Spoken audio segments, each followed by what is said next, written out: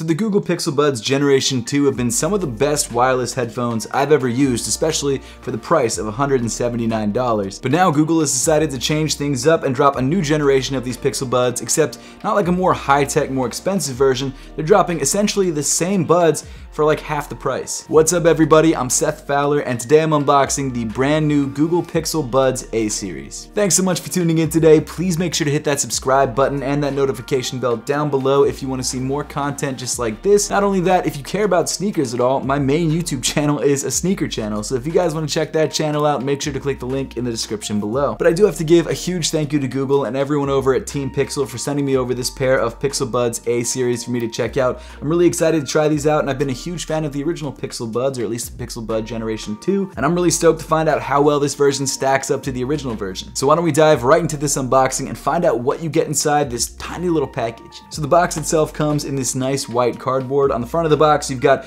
a picture of the Pixel Buds A series. You've got the Google logo. On one side, you got a picture of them in their case, but that's pretty much all there is other than all this sort of regulatory information on the back of the box. So let's just rip off this plastic and see what we get.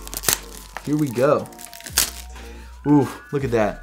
Very nice. So the casing, or the battery charging case, for the Google Pixel Buds A series looks very similar to the case of the original Pixel Buds. In fact, it's actually the exact same size, and I'm wondering, oh, it's magnetic, so it kind of sticks together. I'm wondering if it's almost the exact same case. Now, the one thing I do know about the A series versus the standard pair is that this one doesn't have wireless charging, so I'm assuming the case has to be a little bit different, but they really do look similar. I am noticing that this line around the opening of the case is actually the same color as the Google Pixel Buds themselves, which is dark olive, I believe is the actual color. Let's uh, peel off this plastic and see how they look.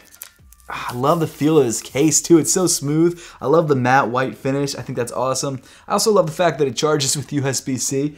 That's uh, something that I wish some other brands would uh, would do. But let's pop the top on this guy and see the buds themselves. Woo!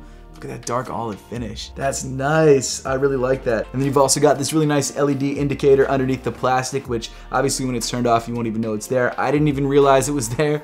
Um, but pulling out these Pixel Buds, they have the almost exact same form factor as the original Pixel Buds, except there are a few minor differences. So the first thing that I'm noticing is that it actually has one less sensor area, which I'm assuming is for in-ear detection, and it's also got one less charging circle right there. Now I'm assuming that's because they've sort of progressed when it comes to the design of these headphones, so the newer versions of the standard Pixel Buds probably will also only have one sensor. I don't think it's like a lower end sensor in these headphones. Now with that being said, because these headphones are significantly cheaper than the standard pair, there are some trade-offs. Namely, the removal of some features, nothing major, the actual audio quality of these headphones should be almost identical to the standard pair. However, you are saving like 80 bucks, so it's probably worth it for most people. Also, kind of a cool piece of information which I just found out is that A series stands for affordable series. Same thing with the Pixel A, it's the affordable Pixel. So here are the two Pixel Buds side by side. You've got the Pixel Bud Generation 2 and you've got the Pixel A series. The one thing I'm noticing first off, besides those details which I already mentioned,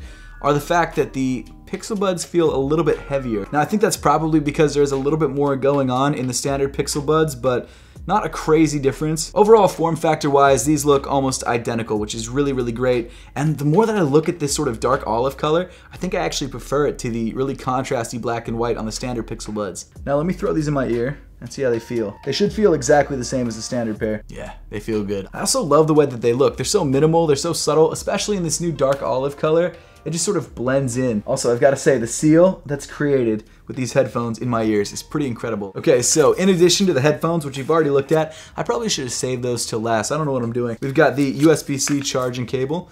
Very nice, USB-C to USB-A, Type A.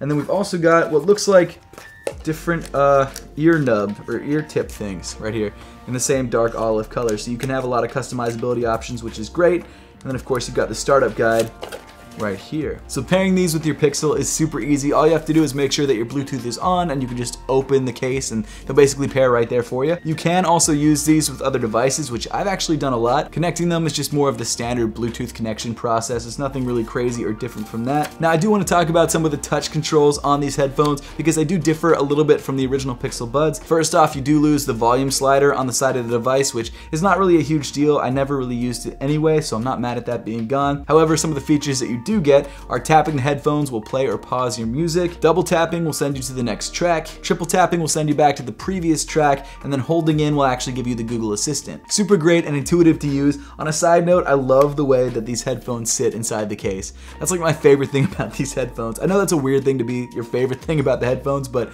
it just fits in so perfectly. It like slides into place, it's magnetic.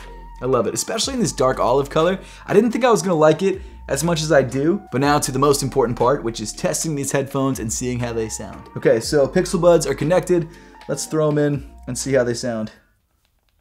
I had the Dave Ramsey podcast on. It was like Dave in my ear right when I threw them in. Okay, so let me play some music really quick. These sound great. These sound really, really great. Let's try the uh, the touch features. There we go. Play pause. Okay. Skip to next track. Nice. Skip back a track. These are really dope. I might be yelling. They're really loud. I can't really hear anything, but these are dope. So I gotta be honest, I am blown away by the sound quality of these. I didn't expect them to be that good, especially since they're 100 bucks, which is kind of nuts. And the fact that these pretty much sound identical to the standard Pixel Buds, or at least the Generation 2 Pixel Buds, is really incredible. And for 100 bucks, I don't know if there's any headphones out there that can beat this price point for this amount of quality. Like the value there is pretty nuts. Huge thank you to Team Pixel for sending these out and Google and everyone involved in getting these out to me. This is such a sick pair of headphones. I'm really stoked that I get to have these. And you know what, honestly, even though I already own the standard Pixel Buds, I like the color of these a lot better, so I might actually rock these as my dailies. These are awesome.